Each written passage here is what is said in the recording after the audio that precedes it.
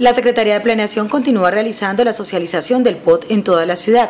Durante el fin de semana, los habitantes del corregimiento 3 de Villavicencio conocieron el plan de ordenamiento e hicieron sus aportes. Es importantísimo que los habitantes de Santa María Baja podamos conocer de primera mano el uso de nuestro suelo en pro de un proyecto turístico que se piensa desarrollar y que todos anhelamos como habitantes de este corregimiento. En las socializaciones, la comunidad ha aprovechado la oportunidad para dar a conocer las necesidades también de su corregimiento o vereda. Desde hace años eh, hemos estado abandonados por la administración municipal, salvo de este gobierno que de una u otra manera ha tenido en cuenta la problemática, pero que no se ha dado solución.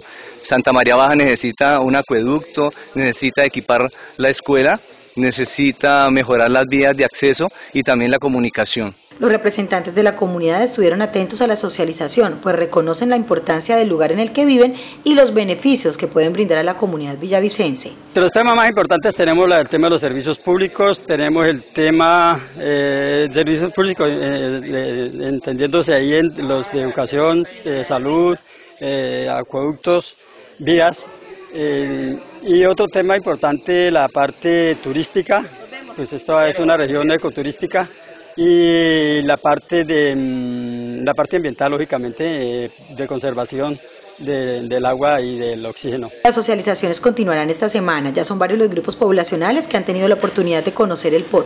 Sin embargo, si usted requiere más información, puede encontrar el documento en el primer piso de la Secretaría de Gestión Social o a través de la página www.villavicencio.gov.co.